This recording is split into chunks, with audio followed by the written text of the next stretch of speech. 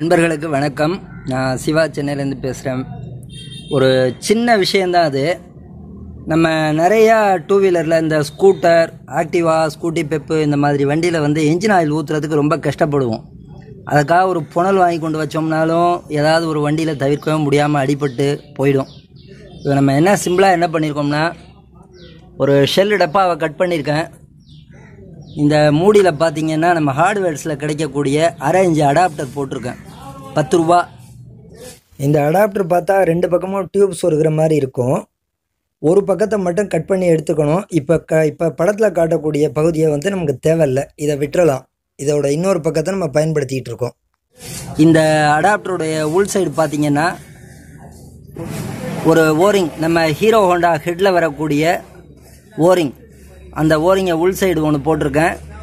வெளி சைடு ஒன்று போட்டிருக்கேன். போட்டு ப்ரெஸ் பண்ணியாச்சு. ப்ரெஸ் பண்ணிவிட்டு ஒரு அரைஞ்சு ஓஸு ஒரு அடிக்கு போட்டிருக்கேன்.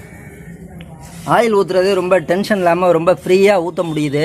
அப்படியே ஒரு லிட்டர் வாங்கினோமா அப்படியே கவுத்து விட்டோமா மேலே மாட்டி விட்டோமாங்கிற மாதிரி ஒரு ஃப்ரீயாக வேலை பார்க்க முடியுது. ஒரு சின்ன தகவல்னாலும் நம்மள்ட்ட இருக்க பொருளை வச்சு ஒரு சின்னதாக ஒரு விஷயம் பண்ணியிருக்கோம். நண்பர்களோட ஷேர் பண்ணிக்கிறேன். தேங்க்யூ